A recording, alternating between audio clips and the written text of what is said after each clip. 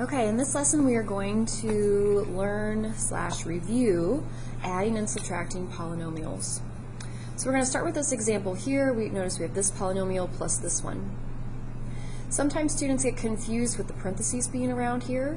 Um, please note that you can drop parentheses if there is nothing in front of the quantity.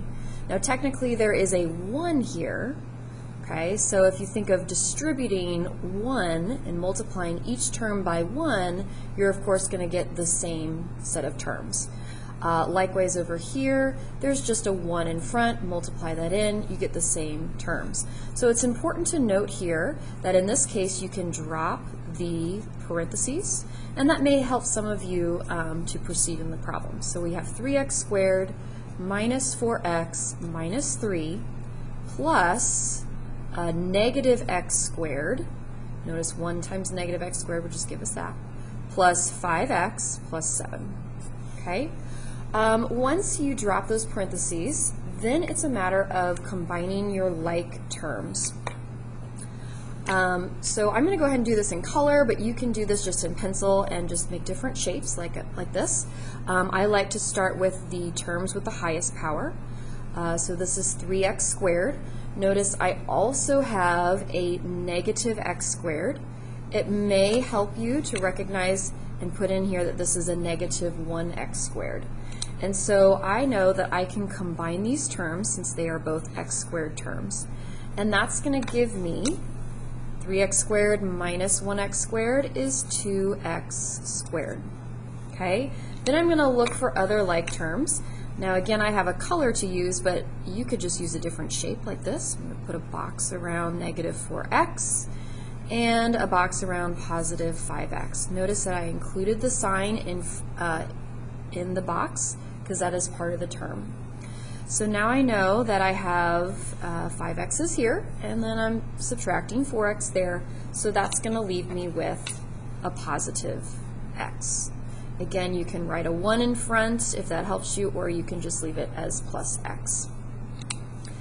And lastly, I have um, negative 3, and I have a positive 7. So these can also be combined because they're both constants. And that's going to leave me with uh, 7 minus 3 is going to leave me with positive 4. And so this is the sum or the total of the two polynomials that we started with up here. All right, let's go ahead and give you a problem that you can try on your own. Um, so this time, um, I'm going to have you try this one, okay? So we have in parentheses again, we have negative 4x cubed plus 2x squared minus 9 plus 2 times 5x squared plus 4. Okay, I would like for you to pause the video and try this on your own paper. Okay, so hopefully you've tried this already.